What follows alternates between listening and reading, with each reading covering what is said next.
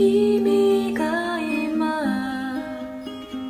出ていた。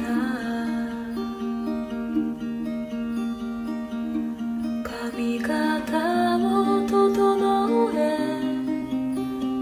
テーブルの上もそのままに。一つ残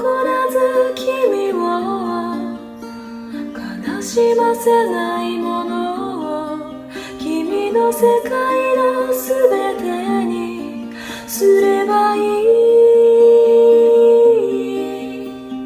そして僕は途方に暮れる。ふざけ合ったあのリムジン。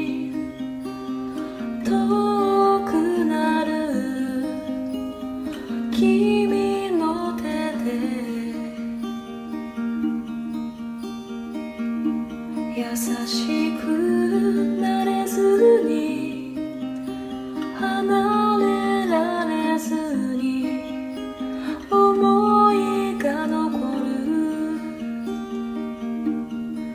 もうすぐ雨のハイウェイ輝いた季節は君の瞳に何を映すのか。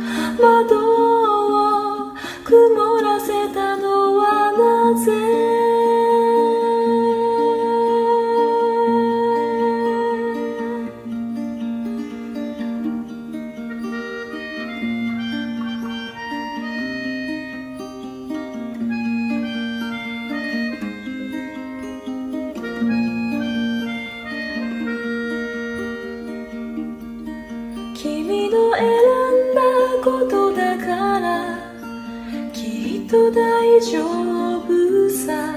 君が心に決めたことだから。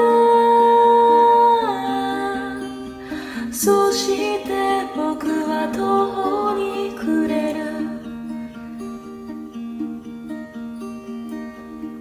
見慣れない服を着た。